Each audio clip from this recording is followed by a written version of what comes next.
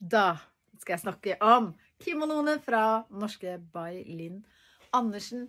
Hun holder til på en øy eh, helt innerst i Oslofjorden og bor litt sånn som, eh, som jeg gjør her. Det er litt gøy. Hun tok kontakt og lurte på om ikke jeg kunne tenke meg å sørge for at du fikk tilgang til disse nydelige håndlagde kimonoene. Indisk bomull, eh, det er Alt mønsteret er påført for hånd. Eh, kimo, kimono er jo kantakilt, som er en teknikk for å bruke opp stoffer som man har liggende da, fra lang tid tilbake. og så har man laget klær av disse kantakilt-teppene. Og her altså i form av en sommerjakke, vårjakke, som du også kan bruke til andre ting. Og det digger jo jeg. Jeg digger at man har flerbruksplagg, så sommerjakke, vårjakke, men også morgenkåpe, badekåpe. Det kan du velge selv. Det er belte med, som jeg knøyt bak, fordi da fikk jeg dratt den litt sammen. Og så er det lommer i hver side, ganske dype, flotte lommer. Denne heter persen og er full av kule farger. Se på de fargene. Det er så fint.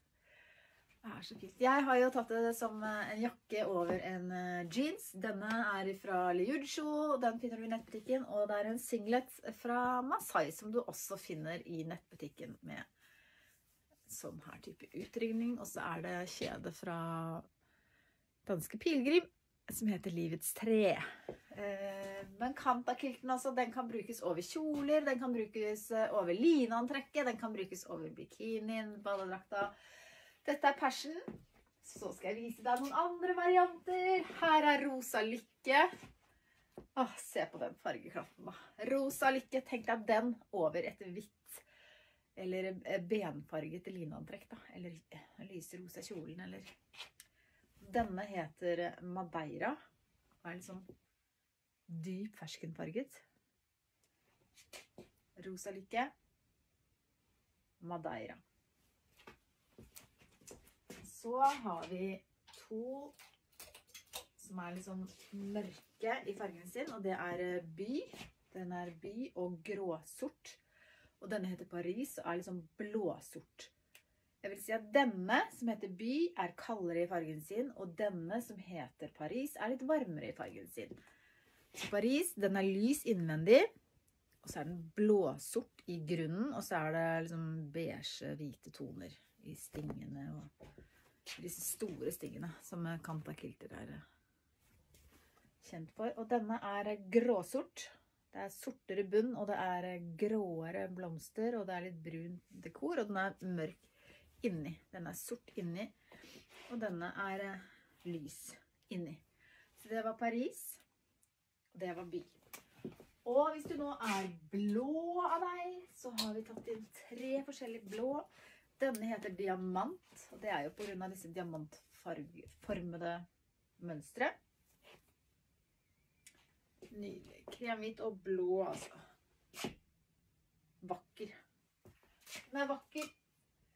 Og denne heter vel soft gråblå. Den er liksom gråblå og beige og litt hvit. Den er gråblå inni. Ser sånn ut bak.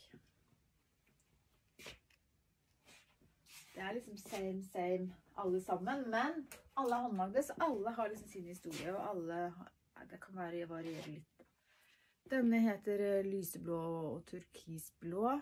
Det er begge deler i den. Den er lys i bunnen, og så er det turkise toner og blåtoner med lys inni. Håndlagde kantakilt kimonoer altså, som kan brukes til masse forskjellig. Så inn og finne deg din.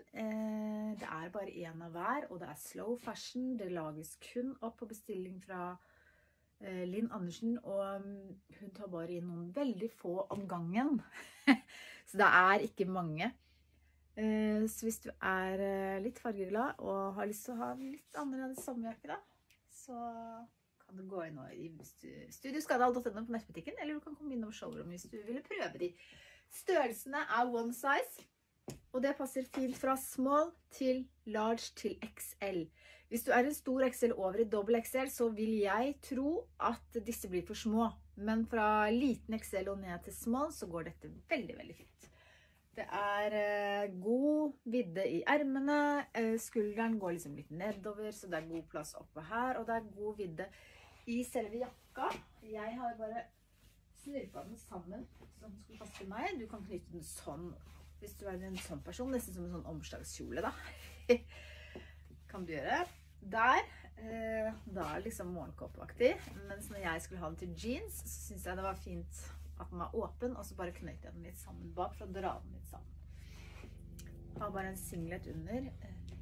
Ja. Over kjolen eller jeansen eller lineantrekket. Det er opp til deg, opp til deg å finne din måte å bruke den på. Jeg syns den er dødskul som en fargerik jakke over jeansantrekket. Styreskanal.no. Vi ses der eller i showrommet. Ha det!